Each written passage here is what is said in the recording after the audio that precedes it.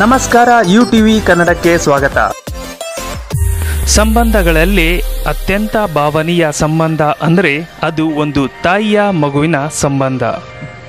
ತಾಯಿ ತನ್ನ ಮಗುವಿಗೆ ಒಂಬತ್ತು ತಿಂಗಳು ಹೊತ್ತು ಹೆತ್ತು ಜನ್ಮವನ್ನು ನೀಡುತ್ತಾಳೆ.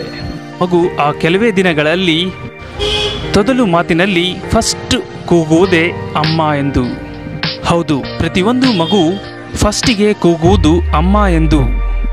ಅಷ್ಟೇ ಅಲ್ಲದೆ ಹುಟ್ಟಿದಾಗ್ಲಿಂದ ಸಾಯುವವರೆಗೂ ತಾಯಿಯ ಪ್ರೀತಿ ಯಾವತ್ತೂ ಕಮ್ಮಿ ಆಗೋಲ್ಲ ನಾವು ಚಿಕ್ಕವರಿದ್ದಾಗ, ನಕ್ಕರು ಅಮ್ಮ, ನಾವು ಕೆಳಗಡೆ ಬಿದ್ದರೂ ಅಮ್ಮ ಎಂದು ಕೂಗುತ್ತೇವೆ.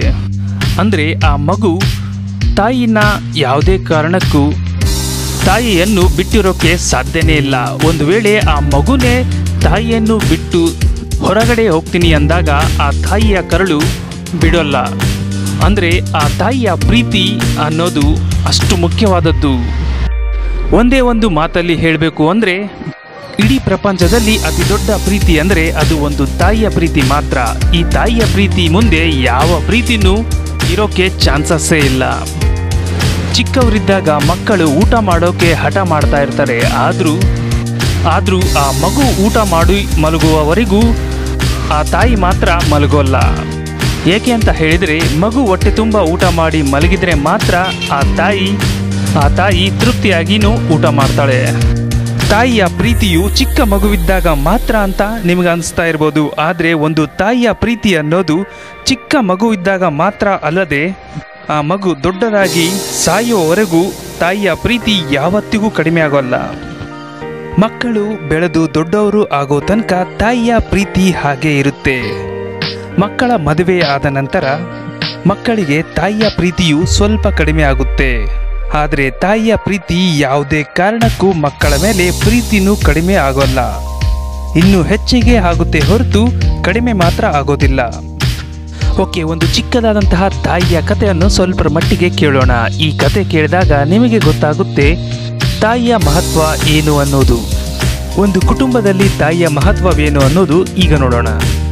ತನ್ನ ಮಗ ಕಷ್ಟಪಟ್ಟು ದುಡಿದು ಒಂದನೇ ತಾರೀಕು ಸಂಬಳ ಬಂದು ಮನೆಗೆ ಬಂದಾಗ ಅವರ ಮನೆಯಲ್ಲಿ ಯಾವ್ಯಾವ ರಿಯಾಕ್ಷನ್ಗಳು ಇರುತ್ತೆ ಅನ್ನೋದು ಇಲ್ಲಿ ನೋಡೋಣ. ಮಗ ತನ್ನ ಮನೆಗೆ ಬಂದಾಗ ಮೊದಲನೆಯ ತಿಂಗಳ ಸಂಬಳ ಬಂದಿರುತ್ತೆ. ಸಂಬಳವು ಮನೆಗೆ ತಂದಾಗ ಫಸ್ಟ್ ಹೆಂಡತಿ ಬಂದು, ರೀ, ನಮಗೆ ಸೀರೆ ತಗೋಬೇಕು ಅಂತ ಹೇಳಿದ್ನಲ್ಲ, ಬನ್ನಿ, ಸಂಜೆ ಸೀರೆ ತಗೊಳೋಣ ಅಂತ ಹೇಳಿ ಹೋಗ್ತಾರೆ. ಅದಾದ ನಂತರ ತಂಗಿ ಬರ್ತಾಳೆ. ತಂಗಿ ಬಂದ ನಂತರ, ಅಣ್ಣ ಅಣ್ಣ, ನನ್ನ ಕಾಲೇಜ್ ಫೀಸ್ ಕಟ್ಟೋದಿದೆ, ನನಗೆ ಸ್ವಲ್ಪ ದುಡ್ಡು ಬೇಕು ಅಂದು ಕೇಳ್ಕೊಂಡು ಹೋಗ್ತಾಳೆ. ಹಾಗೆ ತಂದೆನೂ ಬರ್ತಾರೆ. ಅವರು ಬಂದು ಕೇಳ್ತಾರೆ, ಹೇಗಿತ್ತು ಕೆಲಸ ಅಂತ? ಆಗ ಮಗ ಹೇಳ್ತಾನೆ, ಚೆನ್ನಾಗಿತ್ತಪ್ಪ ಅಂತ ಹೇಳ್ತಾರೆ. ಹೆಂಡತಿಯಾಗಲಿ, ತಂಗಿಯಾಗಲಿ, ತಮ್ಮ ಆಗಲಿ, ಅಪ್ಪ ಆಗಲಿ, ಅವರವರ ಕೆಲಸವನ್ನು ಕೇಳ್ಕೊಂಡು ಹೋಗ್ತಾರೆ. ಆದರೆ ಈಗ ತಾಯಿ ಬಂದು ಕೇಳ್ತಾಳೆ ಮಗನೇ, ಮುಂಜಾನೆ ತಿಂದಿದ್ದು ಮತ್ತೆ ಯಾವಾಗ ತಿಂದಿಯೋ ಏನೋ ಗೊತ್ತಿಲ್ಲ, ಆದರೆ ಈಗ ಮೊದಲು ಕಾಲು ತೊಳ್ಕೊಂಡು ಬಾ ಫಸ್ಟ್ ಊಟ ಮಾಡು, ಅದಾದ ನಂತರನೇ ಮುಂದಿನ ಕೆಲಸ ನೋಡೋಣ, ಬಾ ಅಂತ ಕರಿತಾಳೆ. ಅಂದರೆ ಈ ಕಥೆಯಲ್ಲಿ ನಿಮಗೆ ಅರ್ಥ ಆಗಿದ್ದು ಏನಪ್ಪ ಅಂತಂದರೆ, ಒಂದು ಮಗನ ಕಷ್ಟ ಆಗಿರ್ಬೋದು, ಒಂದು ಮಗಳಿನ ಕಷ್ಟ ಆಗಿರ್ಬೋದು, ಅದು ತಾಯಿಗೆ ಮಾತ್ರ ಗೊತ್ತಾಗುತ್ತೆ.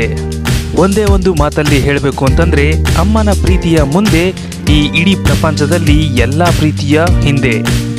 ನಮ್ಮ ಪ್ರಕಾರ ಆಕಾಶದಲ್ಲಿ ಸೂರ್ಯ ಚಂದ್ರನು ಇರೋದು ಎಷ್ಟು ಇಂಪಾರ್ಟೆಂಟು ಅಂದರೆ ನಮ್ಮ ಭೂಮಿಯ ಮೇಲೆ ಅಮ್ಮ, ಅಪ್ಪ ಇರೋದು ಅಷ್ಟೇ ಇಂಪಾರ್ಟೆಂಟ್ ಅಂತ ಹೇಳ್ಬೋದು.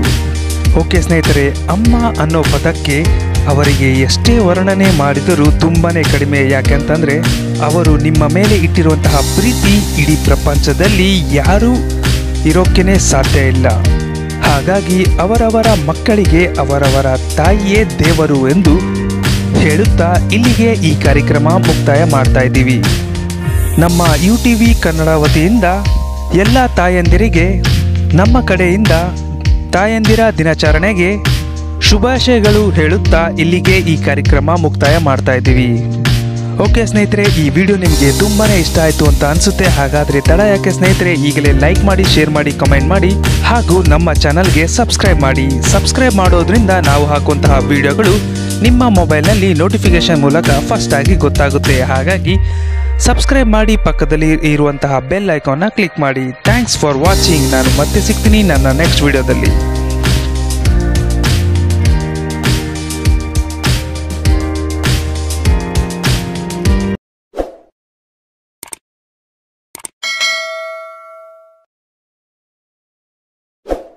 ಈ ಕನ್ನಡಕ್ಕೆ ಲೈಕ್ ಮಾಡಿ ಕಮೆಂಟ್ ಮಾಡಿ ಹಾಗೂ ನಿಮ್ಮ ಸ್ನೇಹಿತರಿಗೆ ಶೇರ್ ಮಾಡಿ.